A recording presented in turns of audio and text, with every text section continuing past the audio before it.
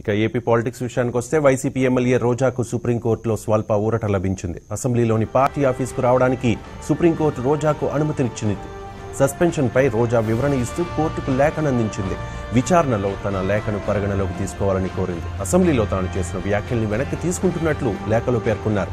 దీంతో అసెంబ్లీ సమావేశాలు నిర్వహించినప్పుడు వివరణ లేఖను అసెంబ్లీ కార్యదర్శికి పంపాలని సుప్రీంకోర్టు ఆదేశించింది.